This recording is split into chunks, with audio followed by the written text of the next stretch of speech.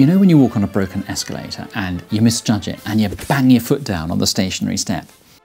Well, there's a reason why that happens, and it reveals an incredible feature of our brains. So, as we interact with the world every day, the sensory input received by our brains is delayed. It takes a little while for the information to travel to the right part of the brain. And because of this, we constantly live in the past, experiencing what happened just a few milliseconds ago. But our brain knows this and does something extraordinary. Instead of forcing us to live in the past, it takes the information it has to predict the future. So, our experience of now is our brain's best estimate of what now should be, and it works remarkably well. But sometimes, just occasionally, it gets it wrong. So, when it sees an escalator, assuming that it's seen one before, the predicted version of the present isn't quite right because it's based on the assumption that the escalator is moving, even though we know it's not. It's an automatic process, so we can't influence it. So, when you place your foot on that step, reality and your brain's prediction of the future collide and you momentarily lose your balance.